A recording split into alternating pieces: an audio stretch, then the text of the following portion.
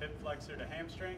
You can get set up on one knee, squeeze your glute and reach up to stretch the hip flexor on that side, then straighten out the leg, keep your hips up, and reach for the toe to stretch the hamstring on the other side.